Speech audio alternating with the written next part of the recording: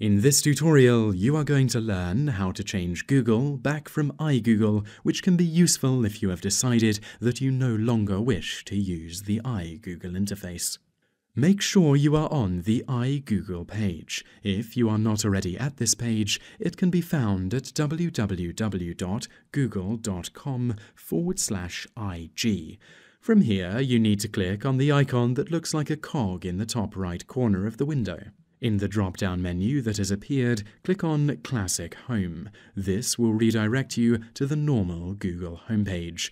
You can use this just as you normally would, and that is how to change Google back from iGoogle.